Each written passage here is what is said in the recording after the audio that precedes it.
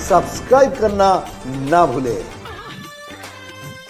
नमस्कार दोस्तों, स्वागत है आप सभी का हमारे चैनल में। दोस्तों, आज की इस वीडियो में मैं बात करूँगा मिथुन चक्रवर्ती और दिव्या भारती की उस फ़िल्म के बारे में, जिसके बारे में कुछ सच्चाइयाँ हैं, कुछ अनफैक्ट हैं, कुछ फैक्ट हैं, जिनके बारे में आप सबको नहीं पता होगा। सबको तो नहीं पता होगा, कुछ लोगों को ज़रूर पता होगा। वो फैक्ट क्या हैं और ऐसी क्या घटना हुई थी उस फ़िल्म के दौरान, ये सारी चीज़ें हम आज वीडियो में जानेंगे। मिथुन चक्रवर्ती और दिव्या भारती, एक ऐसे अभिनेता जिन्हें लोग एक साथ देखने के लिए बेताब हुआ करते थे, खासकर हीरो हीरोइन के किरदार में।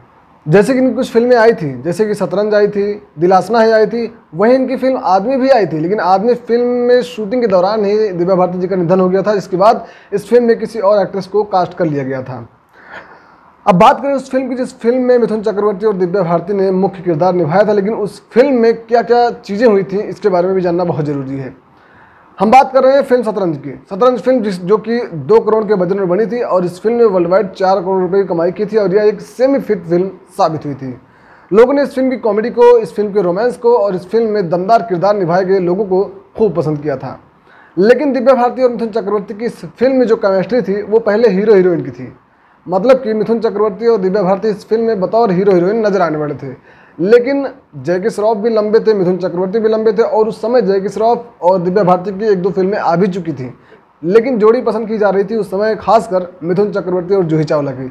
इस वजह से इस फ़िल्म में कास्टिंग में बदलाव हुआ और इस फ़िल्म में मिथुन चक्रवर्ती के साथ जूही चावला को जोड़ दिया गया। वहीं दिव्या भारती को जयकी श्रॉफ के साथ जोड़ दिया गया। वहीं दूसरी बात यह भी आती है कि शतरंज फ़िल्म में जो कादर खान के बचपन का किरदार निभाया गया था, वो कादर खान के बेटे सरफराज खान ने निभाया था। अगर आपने फ़िल्म ध्यान से देखी होगी तो इस बचपन में जो किरदार कादर खान का रहता है, वो हु बहू अपने पिता यानी कि कादर खान से सेम शक्ल मैच करती है। और यह सच्चाई है कि इस फ़िल्म में कादर खान के बेटे ने बचपन का किरदार निभाया था। हालाँकि उन्होंने और भी बहुत कुछ फ़िल्में की जैसे कि तेरे नाम में भी इनके किरदार को खूब पसंद किया गया था। वहीं अगर अगले फैक्ट की बात की जाए तो इस फ़िल्म जो आपने अगर मेरी जंग मूवी देखी हो अनिल कपूर की तो उस फ़िल्म का टाइटल पहले शतरंज था। और इस फ़िल्म की कास्टिंग भी अलग थी। और इस फ़िल्म में अमिताभ बच्चन, अनिल कपूर, अमजद खान, ये सब दिखाई देने वाले थे जो फ़िल्म मेरी जंग आई थी। लेकिन बाद में इस फ़िल्म की कास्टिंग और नाम दोनों को बदल दिया गया। जिसके बाद इस फ़िल्म को शतरंज नाम से मिथुन चक्रवर्ती और जैकी श्रॉफ कादर खान के साथ फिल्माया गया और लोगों ने पसंद किया। सबसे बड़ी बात तो यह भी है कि मिथुन चक्रवर्ती की शतरंज मूवी, दिव्या भारती की शतरंज मूवी, जेके श्रॉफ की शतरंज मूवी, दिव्या भारती के डेथ के बाद रिलीज़ की गई थी। शतरंज मूवी के रिलीज़ होने के आठ महीने पहले ही दिव्या भारती ने दुनिया को अलविदा कह दिया था और यह मौत रहस्यमय था। किसी को नहीं पता चल पाया कि आखिर दिव्या भारती की डेथ हुई कैसी थी। बहुत सी खबरें आती हैं, कोई ऐसा बताता है, कोई वैसा बताता है, लेकिन सच जो है, वो अभी तक सामने नहीं आ चुका है।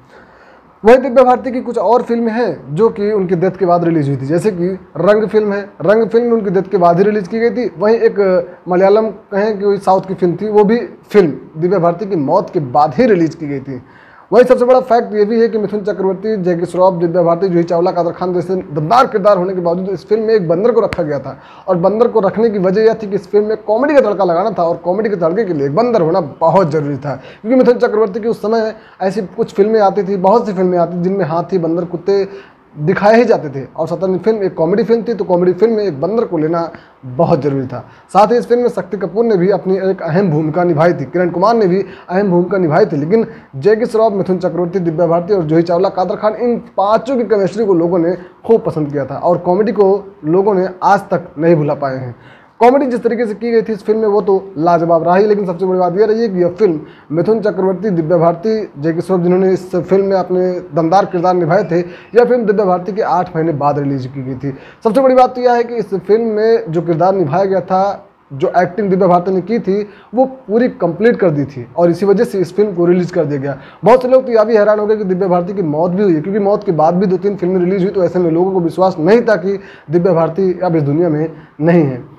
शतरंज मूवी की ऐसी और भी बहुत दिलचस्प कहानियाँ हैं, जिनके बारे में आप सब में से बहुत कम लोगों को पता होगा, लेकिन उन्हीं में से कुछ जानकारी ये थी, जिसके बारे में हमने रिसर्च किया, हमें मालूम पड़ा और सोचा गया कि आप सबके साथ ये चीज़ें शेयर की जाए। मिथुन चक्रवर्ती और दिव्या भारती की और भी कुछ फ़िल्में हैं, जिनके बारे में फैक्ट्स हैं, बहुत सी जानकारियाँ हैं, जिनके बारे में आप भी जानना चाहते हो, कौन सी फ़िल्म के बारे में जानना चाहते हो कमेंट में अपनी राय ज़रूर दीजिएगा। फ़िलहाल तो शतरंज मूवी एक हिट सेमी हिट फ़िल्म साबित हुई थी और लोगों ने इस फ़िल्म की कॉमेडी को, साथ ही इस फ़िल्म के रोमांस को एक्शंस को लोगों ने बहुत पसंद किया था। और वहीं मिथुन चक्रवर्ती की फ़िल्म दिलासना को भी लोगों ने खूब पसंद किया था। दिलासना के बारे में अगली वीडियो में हम ज़रूर लेके आएँगे। उसमें क्या क्या फैक्ट्स हैं? शाहरुख खान, दिव्या भारती, मिथुन चक्रवर्ती, जितेंद्र दीपल कबाड़िया, ऐसे बहुत से बड़े बड़े किरदार रहे हैं उस फ़िल्म में जिन्हें लोगों ने पसंद किया फ़िलहाल शतरंज फ़िल्म आपको कैसे लगी थी? कॉमेंट में अपनी राय ज़रूर दीजिएगा। मिलते हैं नई वीडियो में। सब्सक्राइब करना ना भूले।